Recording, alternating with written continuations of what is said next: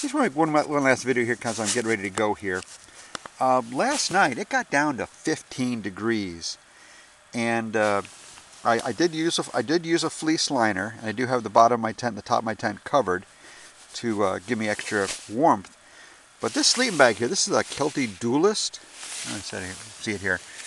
It's called a Kelty Dualist sleeping bag. Basically, the top is is um, down, and the bottom of the sleeping bag is synthetic.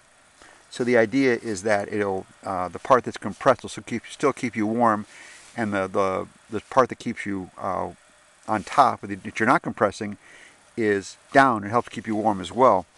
And it got to 15 degrees last night, and uh, this bag's only rated to 22. Of course, I did have a I did have a sleeping bag liner and a frost blanket uh, that my my whole system goes inside of to kind of keep the frost off it. But even it's still this this sleeping bag. I don't know why it doesn't get much love, but I, I, this is something people ought to maybe to consider who do a lot of winter camping. This Dualist worked absolutely fantastic. It's a little bit heavier because it's got a synthetic bottom than a, than a completely down sleeping bag.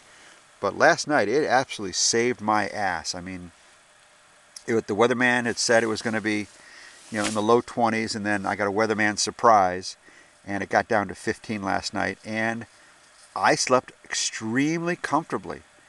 So uh, uh, I, you know, if you're in the, if you're in the in the market for a sleeping bag, I certainly would consider this Kelty Dualist.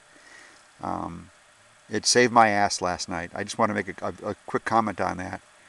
Um, it really it really saves you. Well, also the sleeping bag liners also saved me too. Without without the sleeping bag liner, I probably would have froze my ass off because you know 22, 15 is a lot lower than 22. But still, this, this bag did great. I uh, just want to make a little video about it before I get out of here.